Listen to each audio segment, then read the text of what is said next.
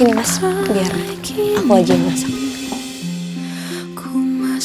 Maaf, maaf mas. Iya, sama aku aku minta maaf juga. Gino sudah membawa istri saya Tias, jadi saya mau tahu dia bawa Tias ke mana. Dokumen pembinaan harta, Gino. Berkat elu bang, Ani bakal balik ke pelukan gua secepatnya. Kamu kok gak sopan sih main masuk ke rumah orang? Tias! Tias! Om, om,